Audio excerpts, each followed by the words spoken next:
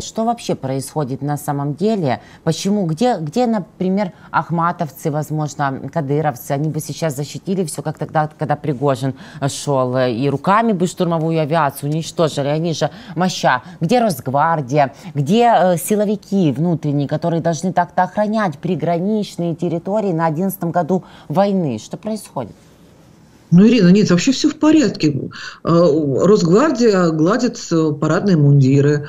А, конечно, Ахмат едет, да, они, они в пробке застряли, но это очевидно, да, это, ну, это всегда так бывает. Потом они, они снимают в, в ТикТоке передвижение, да, это тоже с лезгинкой, это очень красиво, а, в конце концов. Ну, ну, ну, люди делами занимаются, чего вы их отвлекаете? Чего право? Пусть занимаются делами, не надо их отвлекать, не надо.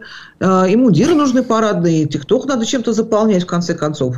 А Курская область вполне способна Э, защитить вот, собственно, новобранцы, ополченцы, срочники. Надо же им тоже чем-то заниматься. Что, всю картошку чистить на гаупвахте? Да, нет, вот, пожалуйста, можно защищать Курскую область. Не умеют, не хотят, ну вот пусть научатся, да, защищать Курскую область. Э, нормально. Не защитят, ну, не надо, будет меньше, чем Курская область. Ну, в конце-то концов. Э, сразу вспоминается царь Иван Грозный в исполнении Яковлева и Куравлева Кемского волость. Ну, что у вас это Кемская волость? Ну, честное слово. Ну, За чего царь портит настроение?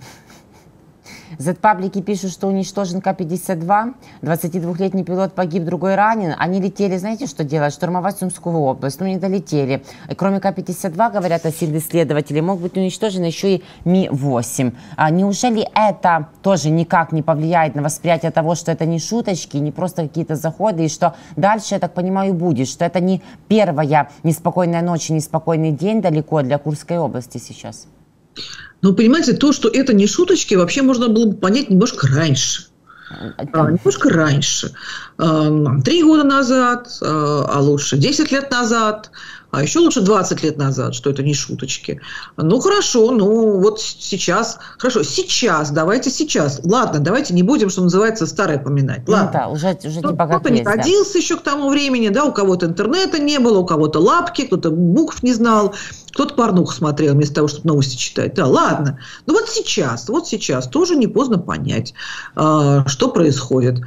А, кто-нибудь понял?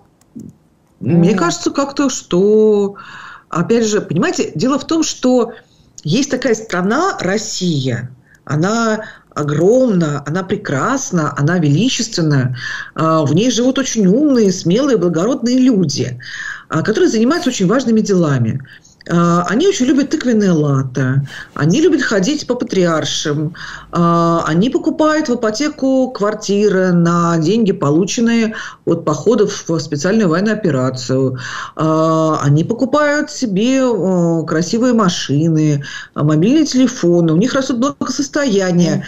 А где-то там, да. далеко, есть какая-то Курская область. Это не у нас. Понятно.